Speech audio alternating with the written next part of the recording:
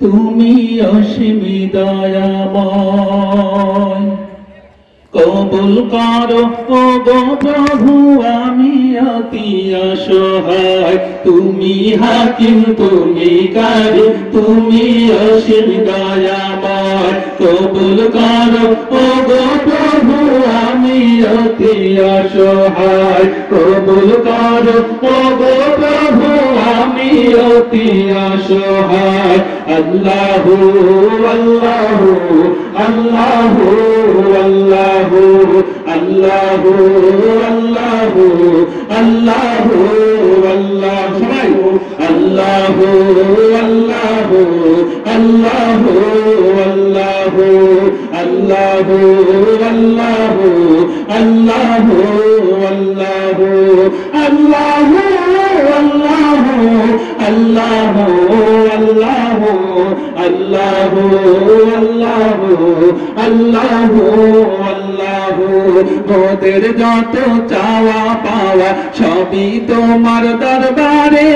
তুমি যদি দাও, ফিরিয়ে যাব বলো করদারে। মোদের যত চাওয়া পাওয়া সবই তোমার দরবারে। তুমি যদি দাও ফিরিয়ে যাব বলো করদারে। মোদের যত চাওয়া পাওয়া, সবই তোমার দরবারে। তুমি যদি দাও ফিরিয়ে যাব বলো করদারে। মোদের তারি তুমি ছাড়া আপন কেহ নেই যে হায়, কবুল করো। ও গো প্রভু, আমি অতি অসহায়। কবুল করো। ও গো প্রভু, আমি অতি অসহায়। আল্লাহ আল্লাহ আল্লাহ আল্লাহ আল্লাহ আল্লাহ আল্লাহ আল্লাহ আল্লাহ আল্লাহ আল্লাহ আল্লাহ আল্লাহ আল্লাহ আল্লাহ আল্লাহ। এই দুনিয়ায় চাওয়া পাওয়া নেই যে কিছু পরকালে তোমার দিদার পাই জানো একবার। সকলে বলে আমি এই দুনিয়ায় চাওয়া পাওয়া নেই যে কিছু পরকালে তোমার দিদার পাই যেন একবার। এই দুনিয়ায় চাওয়া পাওয়া নেই যে কিছু পরকালে তোমার দিদার পাই যেন একবার। তোমার কাছে জায়গা করে দিও গো মামায় কবুল কর। ও গো প্রভু, আমি অতি অসহায়। কবুল কর। ও গো প্রভু, আমি অতি অসহায়। আল্লাহ আল্লাহ আল্লাহ আল্লাহ আল্লাহ আল্লাহ আল্লাহ আল্লাহ আল্লাহ।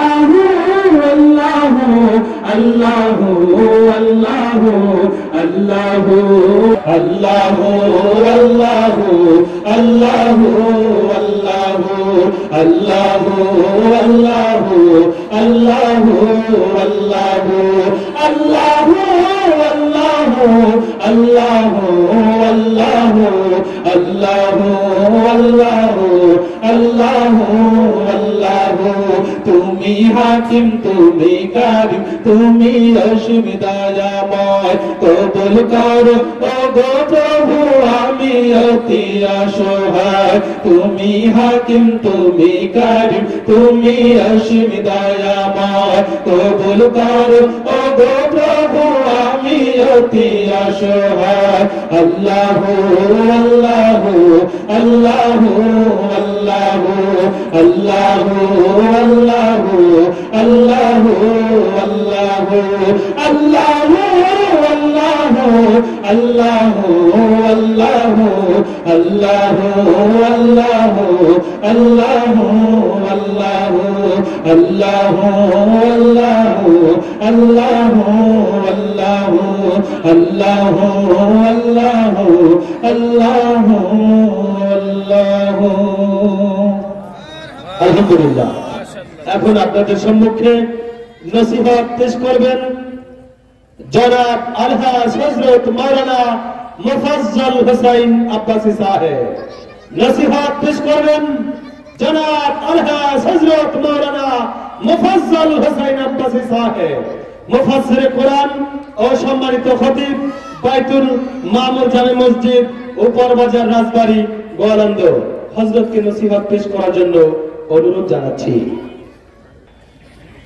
السلام عليكم ورحمة الله وبركاته. الحمد لله.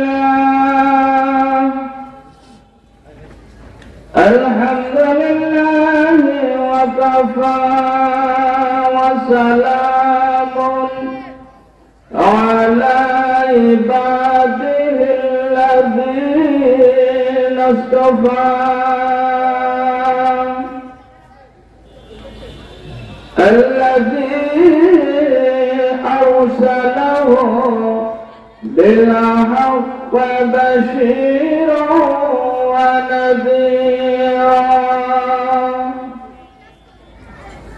وداعيا إلى الله بإذنه وسراجا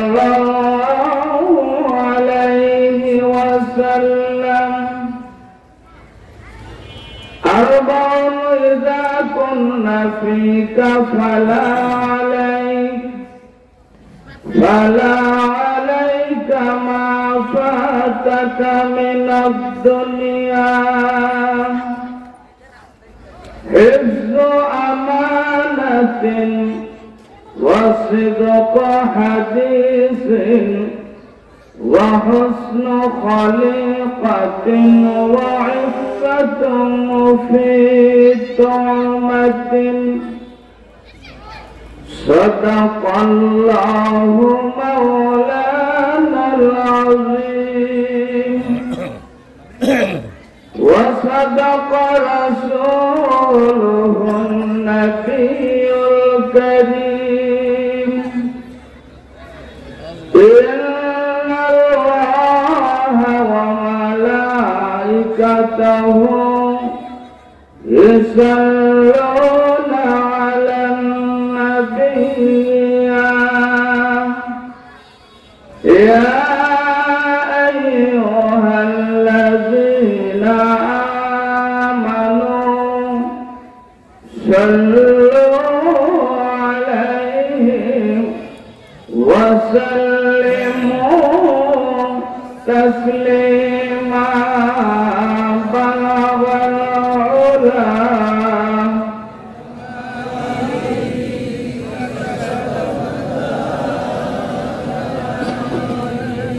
حسنك جميع خصالهم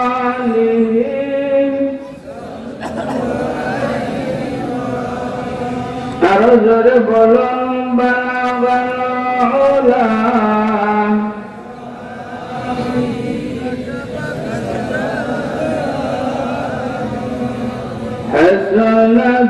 جميع خصالهم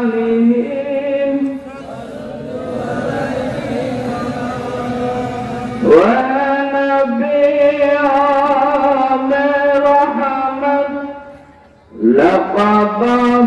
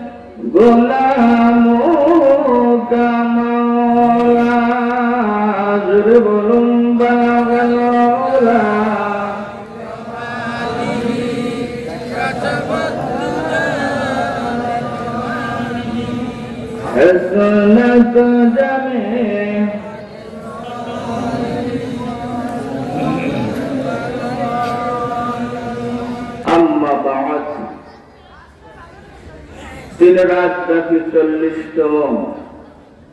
ঐতিহাসিক, ঐতিহ্যবাহী তাফসিরুল কোরআন ওয়াজ সভাপতি জনাব আলহাস মোহাম্মদ আরিফ হোসেন বারাকাল্লাহু ফি মাহফিলের প্রধান অতিথি পাক ভারত ও মহাদেশের তাফসির জগতের উজ্জ্বল নক্ষত্র। আমার আহ্বানে কামেল মুর্শিদ মোকাম্মেল মরহুম শাহ আব্দুল্লাহ আব্বাসী হুজুর রহমতুল্লাহ আলাইহ। সুযোগ্য বড় সাহেব জাদা বরন্না আলমে দিন, জনাব হজরত মাওলানা শাহ মোহাম্মদ ইফতেশামুল হক আব্বাসী। পীর সাহেব গলন্দ দামাত বরকাতুহ আলিয়া বিশেষ অতিথি হিসাবে উপস্থিত রয়েছেন গলন্দ দরবারের আমিরুল মিল্লাত, আমার আহবারে কামেল মুর্শিদে মুকাম্মেল, মরহুম শাহ আব্দুল্লাহ আব্বাসী হুজুর রহমাতুল্লাহ আলের সুযোগ্য ছোট সাহেব জাদা দরবারের পরিচালক আমিরুল মিল্লাত আলহা জনাব মাওলানা শাহ মোহাম্মদ মাহবুল হক আব্বাসী, পীর সাহেব গলন্দ দামাত বরকাতুম আলিয়া উপস্থিত হজরতে কেরাম, দূর দূরান্ত হতে আগত কোরআনের পাগল রসুলের আসে আমার মহব্বতের দিনী ভাইরা পরদার অন্তরালে সম্মানিতা মহতারিমা মা ও বোনেরা, মহান আল্লাহ রব্বুল আলমিনের দরবারে অসংখ্য অগণিত শুক্রিয়া, যিনি আমাদেরকে হায়াতে বাঁচিয়ে বিগত এক বছর পরে খানকায় আব্বাসিয়ার সামনে কোরআনের জান্নাতি এই সামনের নিচে যিনি আমাদেরকে আসার বসার, সুযোগ করে দিলেন, ওই মহান রব্বুল আলমিনের দরবারে শুক্রিয়া আদায় করে, আওয়াজ দিয়ে মহব্বতে যত্ন করে সবাই কণ্ঠে কণ্ঠ মিলে একটু বলুন আলহামদুলিল্লাহ। আর জোরে বলুন। এই মাহফিল মরহুম শাহ আব্দুল্লাহ আব্বাসের হুজুরের মাহফিল। এই স্টেজ মরহুম শাহ আব্দুল্লাহ আব্বাস হুজুরের স্টেজ। এদেশের মানুষ পেয়ে ধন্য হয়েছিল। আর দেশের মানুষগুলো আল্লাহর অলিকে কলিজা দিয়ে ভালোবেসেছিল, কি বলেন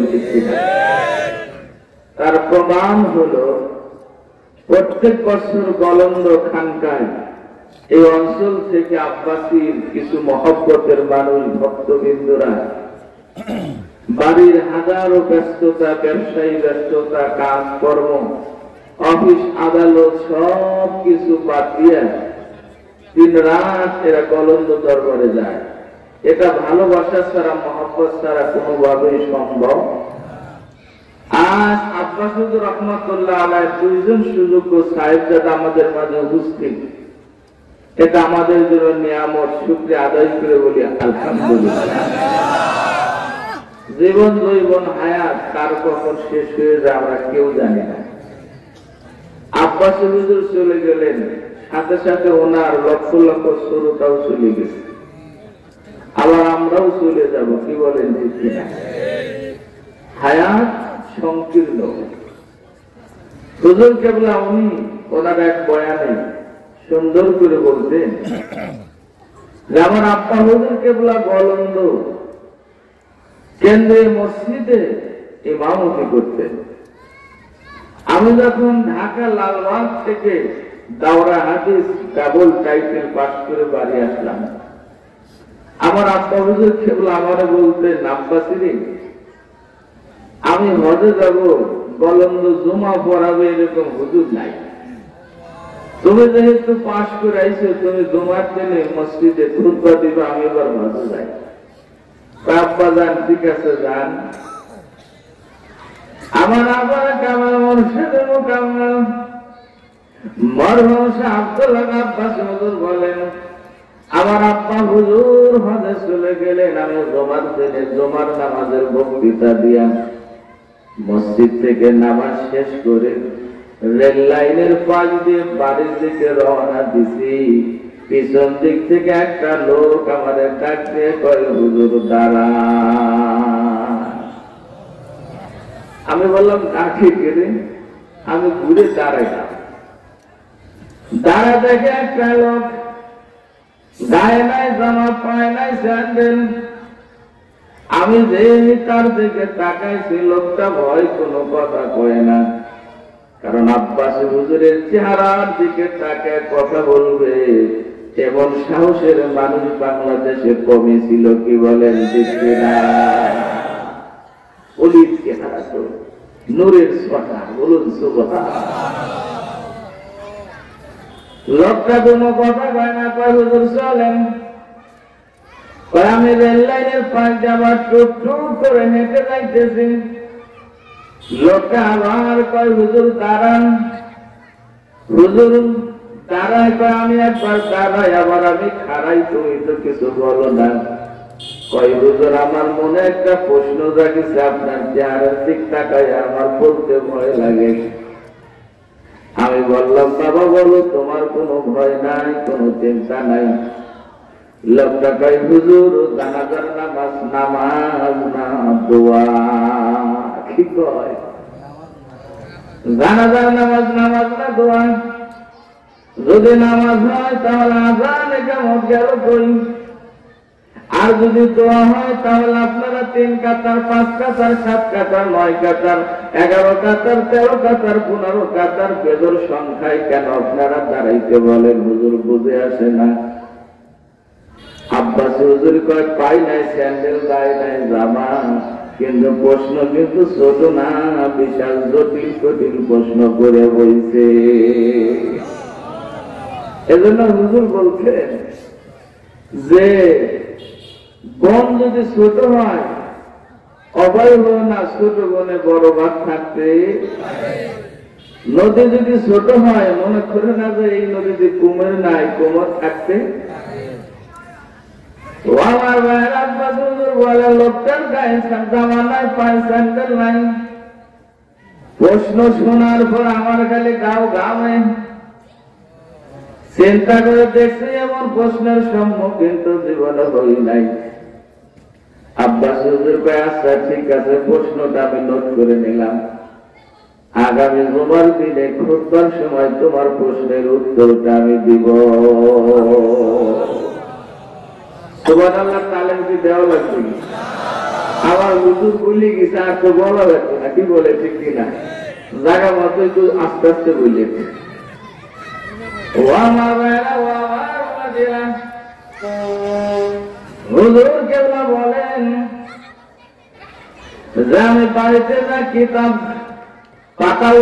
শুরু করলাম।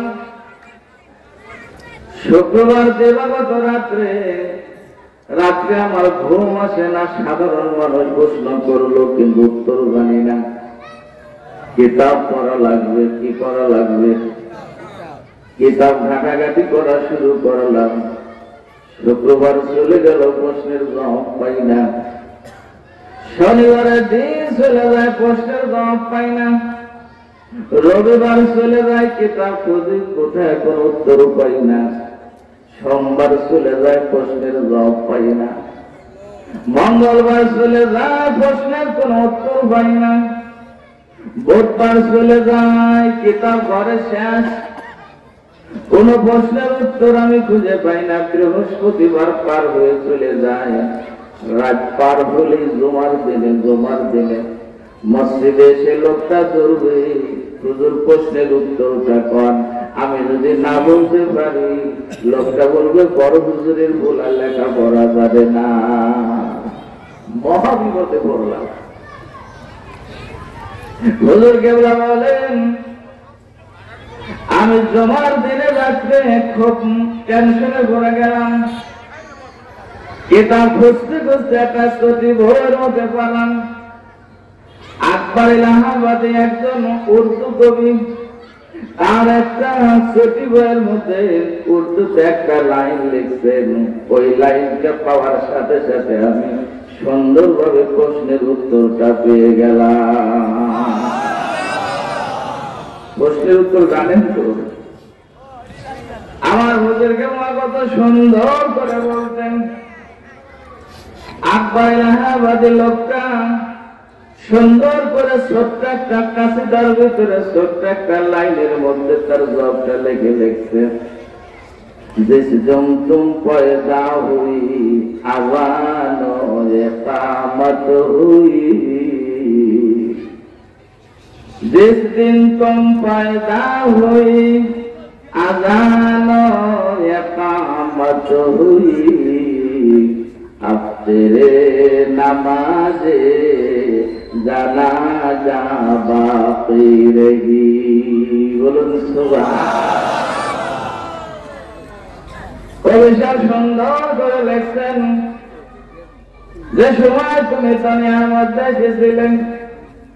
ঘরের ভিতরে তোমার নানি বসেছিল, তোমার দাদি ছিল, তোমার খালাম্মা ছিল, তোমার সাথে ছিল। যেদিন তুমি ধনী আমদ আসো তোমার নানি বাইরে হাসি মুখে তোমার নানার একটা ডাক দিয়েছিল। তোমার দাদি খুশি হইয়া, তোমার দাদার ডাক দেয় কয়, মিয়া সাহেব, এই দিকে আসেন। আপনার একজন নাতি হইছে, তাড়াতাড়ি আজান দেওয়ার ব্যবস্থা করে।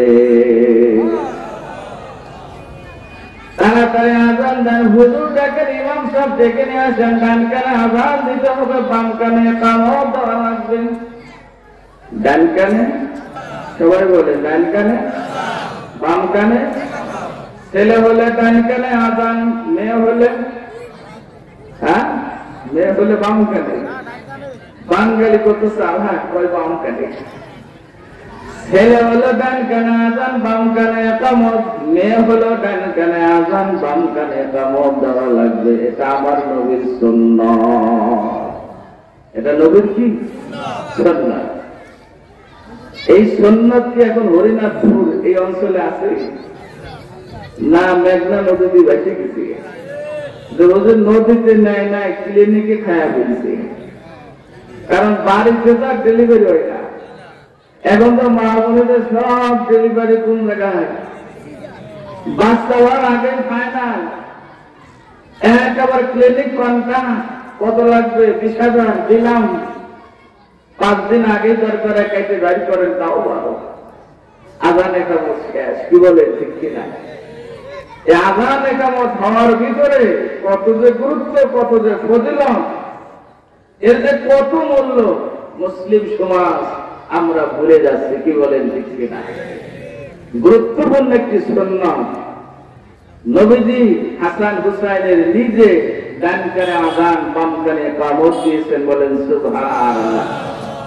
তাহলে আমাদের সন্তানাদি হলে আজান একামত দেব তো রাজে আসি তো সন্ন্যত যদি হারা যায় যদি জিন্দা করেন সব কি পরিমাণ জানেন وقال رسول الله صلى الله عليه وسلم من تمسك بسنتي وعند فساد امتي আল্লাহ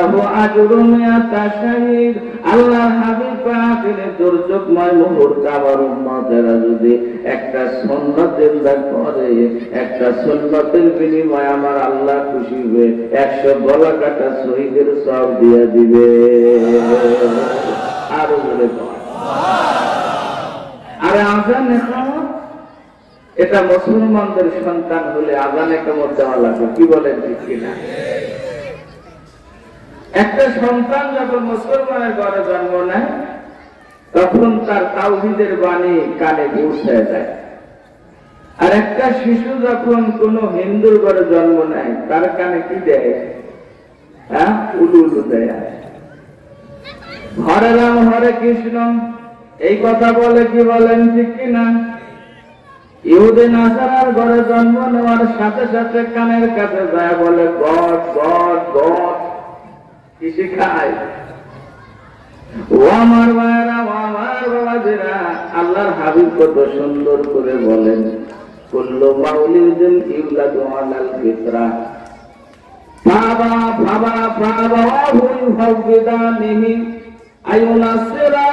আও ইউমাতিসানিহি আল্লাহর হাবিব বলেন, নবজাতক প্রত্যেকটা শিশু যখন দুনিয়ার মধ্যে আসে তাদের একটা ফিতরাত থাকে, স্বভাব থাকে।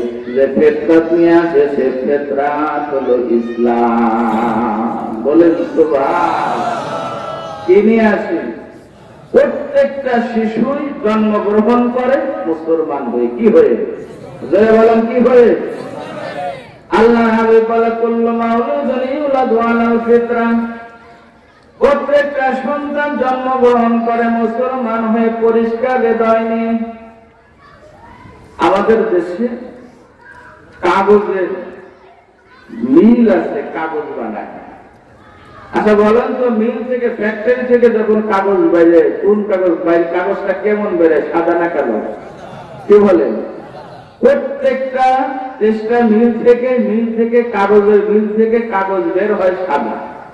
কাগজ কি বের হয়, সাদা বের হয়।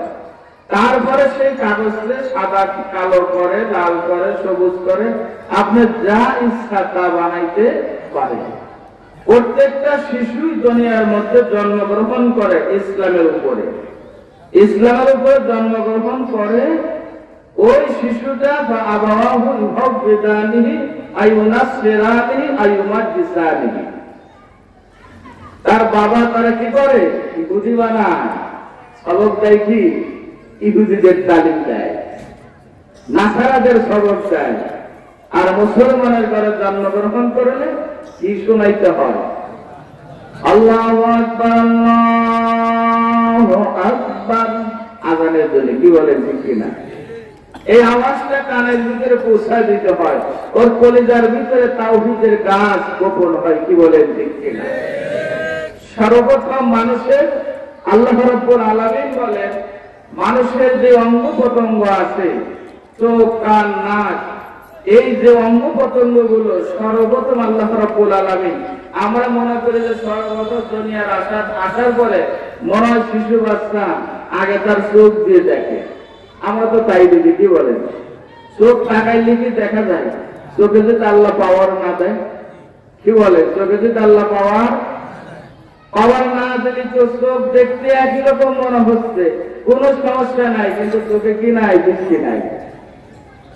আল্লাহর কোরআন আল্লাহ রাব্বুল আলামিন বলেন, বিসমিল্লাহির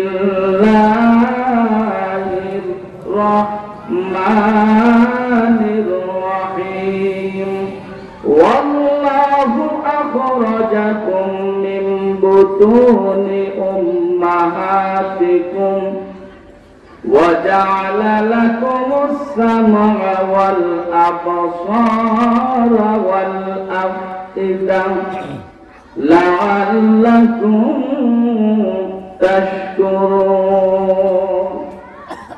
আমরা তাকাই দুনিয়া আসার পরে সবাই মনে করে মনে আগে দেখতেছে না আল্লাহকে ওয়াজালা লাকুম সামা আগে আমি ওর আগে শ্রবণ শক্তি সর্বপ্রথম, শ্রবণ শক্তির মেশিনটাকে অন করে দেই বলেন সর্বপ্রথম কোন মেশিন চালু করে? ধরে বলেন। আগে কানটা চালু করে দেয়। কান চালু করে দেওয়ার পরে যদি হরিরামের ঘরে জন্মগ্রহণ করে, তখন ও রাম রাম শোনে। গডের ঘরে জন্মগ্রহণ করলে তখন কি শোনে? গড গড শোনায়। মুসলমানের ঘরে জন্মগ্রহণ করলে আদান শোনাবে, কি শোনাবে? যাই হোক, আমি যেটা বলতে চাচ্ছিলাম হুজুর কেবলা বলেন, আমি এই আকবর এলাহাবাদী নামক কবিতায় কবি, কবিতার মধ্যে প্রশ্নের জবাবটা আমি পাইলাম। যেদিন দুনিয়া আইছি সেদিন আজান একামত হয়ে গেছে। এখন বাকি আছে কি? ধরে বলেন, বাকি কি? এই জন্য আজান আমাদের আজানও নাই একামত আজান একামত হয়ে গেছে। নামাজের আর বেশি বাকি নেই। আজান একামত হইলে জামাতের দেরি হয়। মাগরিবের নামাজ, মসজিদ আজান দেয়। আজান শেষ করার সাথে সাথে মুসল্লিদেরকে বলে, কাতার সুজা করেন, কাতার সুজা করেন, কাতার সুজা। আর মসজিদ একামত শুরু করে। একামত শেষ হওয়ার সাথে সাথে ইমাম সাহেব বলে নামাজ শুরু করে না? আপনার আমার জীবনটা মনে করবেন নামাজের একামত আর নামাজ হইতে বেশি দেরি নয়। সুতরাং তিন দিন ব্যাপী মাহফিল খানা জীবনের সম্বল মনে করব, আখেরাতের পুঁজি মনে করব, এখান থেকে কিছু পাঠ্য নিয়ে আমরা যাবার জন্য চেষ্টা করব ইনশা রাবি আছি তো আল্লাহ আমাদের তৌফিক দান করুন বলেন আমি। আরও যদি বলেন আল্লাহ আমি দীর্ঘ রাস্তা পাড়ি দিয়ে আল্লাহ রব্বুল আলমিনের সময় মতো আমার এখানে আনছে। আমি শুক্রিয়া আদায় করে বলি আলহামদুলিল্লাহ। গত বছর আমি আপনাদের সামনে একটি সোরা থেকে আলোচনা করে আলোচনা শেষ করতে পারি নাই। মনে আছে? বলেন তো কোন সোরা? আলহামদুলিল্লাহ, আপনারা ভুলে গেলে আমরা খুব খুশি হই। এই জন্য খুশি, আপনারা যদি ভুলে যান, এবছর ওই ওয়াজ করলেও তাহলে আপনি বলবেন, না, নতুন ওয়াজে করতেছে। কি বলে, ঠিক কি না এজন্য আপনারা ভুলে আমাদের জন্য খারাপ না, ভালো। তাহলে গত বছর কোন সুরা করছিলাম সৌরায় তার আগের বছর? হ্যাঁ? সুরাই মরিয়াম পাগলা তালে ঠিক আছে। সুরাই মরিয়াম, ঠিক উত্তর সঠিক। তুমি একশো টাকা আমার কাছে হাতিয়ে নিয়ে দেবা তার আগের বছর কোন সুরাই কি কয়। তার আগের বছর সুরাই কাহান ঠিক আছে। তার আগের বছর নমন। তার আগের বছর তহা। গত বছর আমি ইউসুফের আলোচনা করেছিলাম। কয়টা আয়াত পর্যন্ত এবার দেখি কে পারে? সোরা ইউসুফের আয়াত সংখ্যা হলো একশত এগারোটি। গত বছর আমি সোরা ইউসুফের মাত্র এক থেকে একত্রিশ নম্বর আয়াতে কারিমা পর্যন্ত আমি আলোচনা করেছিলাম, মনে আছে তো? কি বলেন, মনে আছে? এবছর আমি সুরা ইউসুফ শেষ করব, বাকি রাখব না। কারণ আগামী বছর যদি আল্লাহ হায়াতে বাঁচায় রাখি, আর যেভাবে আল্লাহর গজব আসতেছে করোনা আসতেছে অমি করোনা আসতেছে এরপরে যে আর কোনটা রেডি আছে, আমার আল্লাহ মাহবুদি ভালো জানে সুতরাং মাহফিল আগামী বছর হবে কি হবে না, এটা আল্লাহ ভালো জানে। এজন্য এবছর আমি সোরা ইউসুফের আমি সোরা ইউসুফের আলোচনা শেষ করার জন্য চেষ্টা করব ইংশা করুন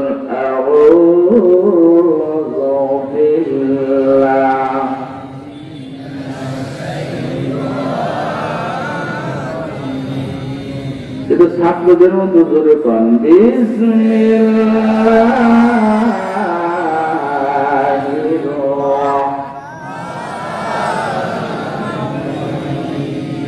আসমানি কিতাব একশো চারখানা। কোরআনকে বাদ দিলে থাকে একশো তিনখানা। একশো তিনখানা কিতাবের সার সঙ্গে আল কোরআন সোয়ার আল্লাহ বলবেন না? একশো তিনখানা কিতাবের সারসংক্ষেপ যদি কোরআন হয়, এবার একটু বিবেক দিয়ে বোঝার চেষ্টা করি, হৃদয় দিয়ে একটু অবলোকন করার জন্য চেষ্টা করি আল্লাহ কোরআন তাহলে কত বলে ঠিক কিনা। কোরআনের মধ্যে সুরা একশো চোদ্দটি একশো চোদ্দটি সুরা সারসংখ্যক সুরায় বাকারা। সুরায় বাকারার সারসংখ্য হলো সুরায় ফাতেহা।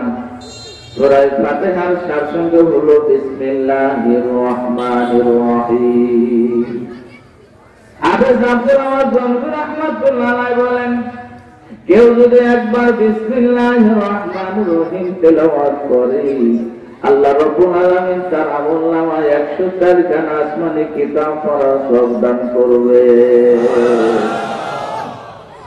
বাংলাদেশের ইউনিভার্সিটি দারুল দা হাকাদারি মাদ্রাসার মরহুম প্রিন্সিপাল। আল্লামা শাহ ওয়াজবে নদীর মধ্যে তিনি লিখছেন, কোন ছেলে মেয়ে যদি একবার বিসমিল্লাহ রহমান রহিম তেলাওয়াত করে, আল্লাহ রব্বুল আলামিন দয়া করে মায়া করি, সঙ্গে সঙ্গে পিতা মাতার কবর আজাবকে আল্লাহ মাফ করে দিবে। তাহলে আমরা পড়তে রাজি আছি তো? করেন বিসমিল্লাহির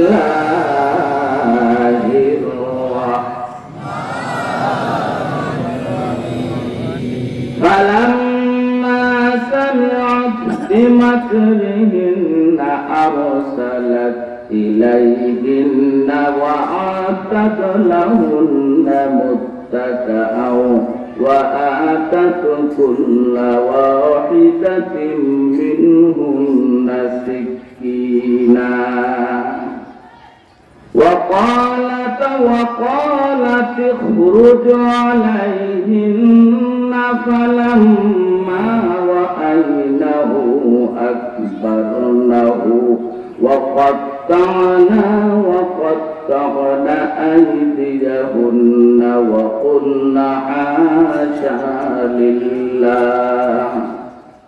وقل حاش لله ما هذا بشرا إن هذا إلا ملك كريم বলুন সুবহান আমি আর বিগত বছরের আলোচনা টানবো না সরাসরি গত বছর আমি যে জায়গায় রেখেছিলাম, সেখান থেকে আমার আলোচনা শুরু করব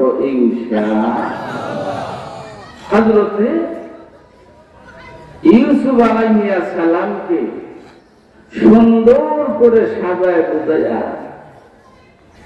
দেবী জোলাইখা যারা তার বিরুদ্ধে সমালোচনা, ঝড় তুলেছিল, তাদেরকে ওনার বাড়িতে দাওয়াত দিয়েছিল, মনে আছে? একটা ভোজের আয়োজন করে, সে জায়গায় তাদেরকে একত্রিত করে বিবি জোলাইখা তাদের সামনে খাবারের প্লেট, টেবিলের সামনে দিয়া প্লেটের সাথে খাবারের সাথে আবার একটা চাকু দিছে, খাবার কেটে কেটে খাওয়া লাগবে।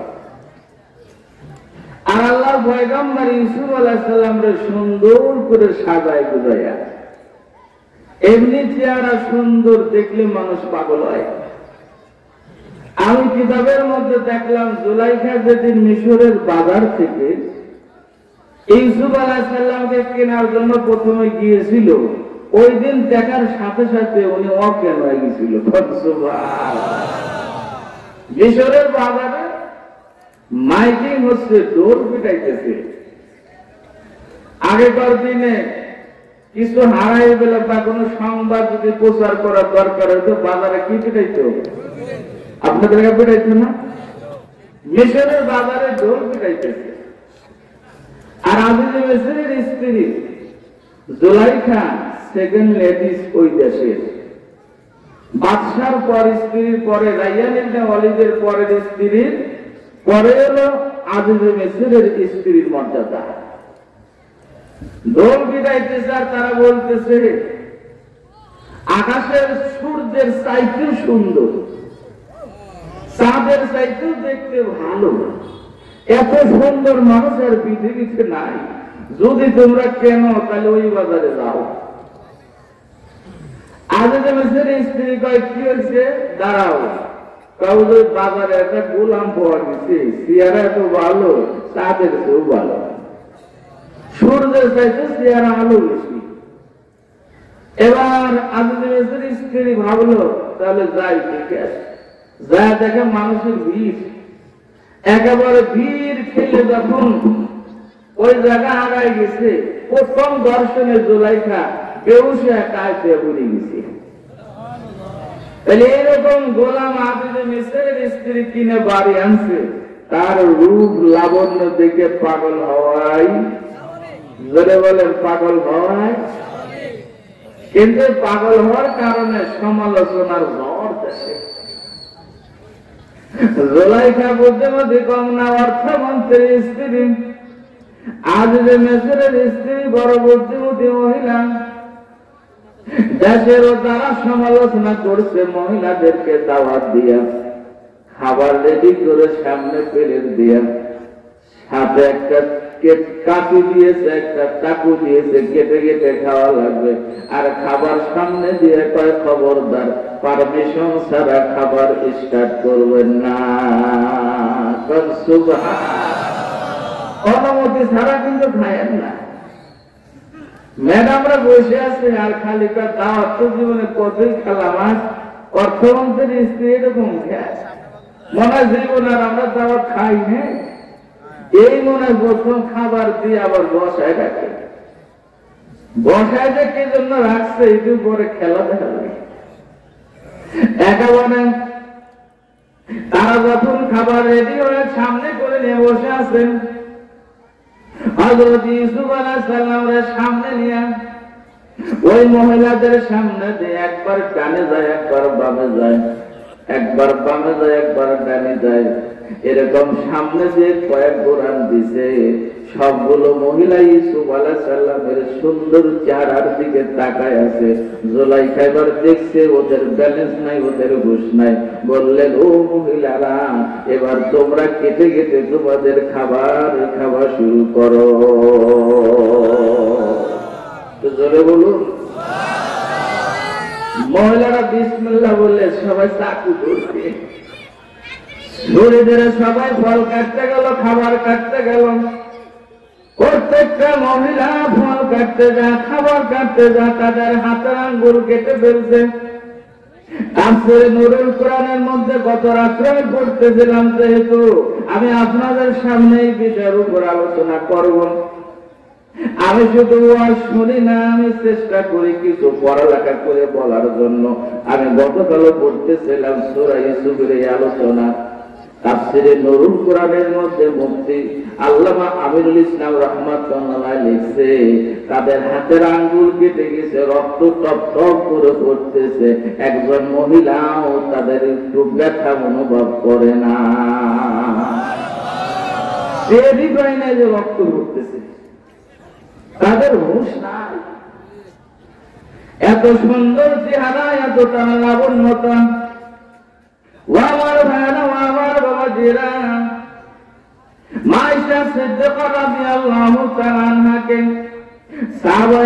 প্রশ্ন করেছিল, ইউসুফ সৌন্দর্যের কথা মানুষ কয় আশা বলেন তো আমার নবী কেমন সুন্দর ছিল, তার চেহারাটা কেমন ছিল? সিদ্দিকা রাদিয়াল্লাহু তাআলা মিশরের নারীরা ইউসুফ আলাইহিস সালামের দিকে হাতের আঙ্গুল কেটে ফেলছে। আমার নবী মুহাম্মদ যদি তারা দেখতো, তারা দেখ, তারা যদি দেখতো, তারা কাটতে কাটতে, হাত কাটতে কাটতে তারা কলিজা পর্যন্ত কেটে ফেলতো। লানা শামসুন ওয়াতিল আফাক শামসিন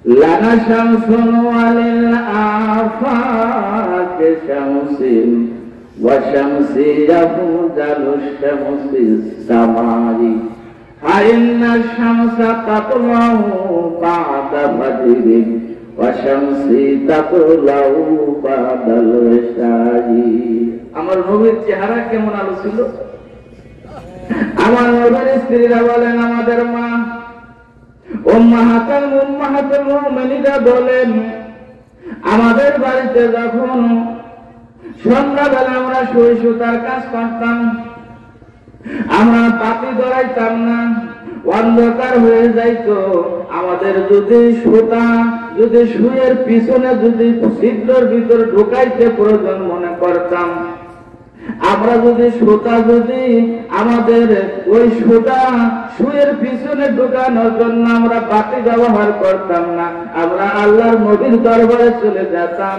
আর ওই সুইটা ধরতাম সুয়ের ছিদ্র আমরা পরিষ্কার দেখতে পেতাম। পরিষ্কার সুয়ের ছিদ্র দেখে আমরা সুতা গুলো আমরা ঢুকাইয়া নিতাম। আর বলে বলুন না।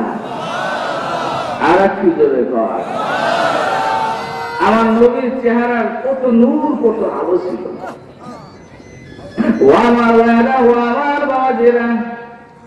কেমন আলো ছিল, কেমন সুন্দর ছিল। একটু আমরা বোঝার চেষ্টা করি। খোদা খোদ মিলে মাহফিল বুঝু মোহাম্মদ সামিয়া মাহফিল। কে জমলা আমি দিয়া রাস্তা দারা মাহফিল কে সুওয়াসমিল বলুন আজ বাজারের পাশে গোহাটা ময়দানে সামনে চল্লিশ বছর পূর্তি হচ্ছে ঐতিহাসিক ঐতিহ্যবাহী তাফসিল করেন মা আপনারা বসে আছেন। আজকাল মাহফিলের সভাপতি আল্লাহ মোহাম্মদ আরিফ হোসেন সাহেব, প্রধান অতিথি গলন্দর বড় হুজুর, বিশেষ অতিথি গলন্দর ছোট হুজুর, প্রধান বক্তা মুফাজ্জাল হোসেন আব্বাসি। জান্নাতের মধ্যে হঠাৎ করে আল্লাহ রাব্বুল আলামিন একদিন একটা সার্কুলার দিবেন। সার্কুলার দিয়ে বলল ও জান্নাতীরা তোমরা জান্নাতের অমুক বাজারে একত্রিত অমুক ময়দানে যাও। সব জান্নাতীরা ময়দানে একত্রিত হবে। এত ছোট স্টেজ হবে না বিশাল একটা স্টেজ হবে। স্টেজের মধ্যে এক লক্ষ চব্বিশ হাজার নবী রসুলেরা বসে থাকবেন। বলুন সুবাহ সেই মাহফিলের প্রধান অতিথি হবেন এক লক্ষ চব্বিশ হাজার নবী রসুলের লেখার নেতা। আমার নবী আমার নবী আমার নবী মোহাম্মদ রসুল্লাহ আলাইহি দেশে যদি বেড়াবেন সেগুলি কণ্ঠের অধিকারী হজরত দাউদ আলাইহিস সালামকে আজ আল্লাহ আলোকিত করার জন্য, অন্ধকার দূর করার জন্য পাঁচ গেড়ে কত সুন্দর করে লাইটগুলো সেটিং আর ফিটিং দেওয়া হয়েছে। স্টেজগুলো আলোকিত করার জন্য আর বেশি করে লাইট লাগানো হয়েছে।